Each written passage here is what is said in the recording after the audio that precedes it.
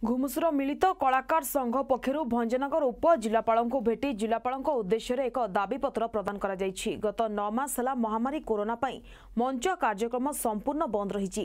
ଏପରିକି ଗଞ୍ଜାମର ପ୍ରସିଦ୍ଧ ଦଣ୍ଡଯାତ୍ରା ମଧ୍ୟ କରୋନା ପାଇଁ ବନ୍ଦ ହୋଇଯାଇଛି।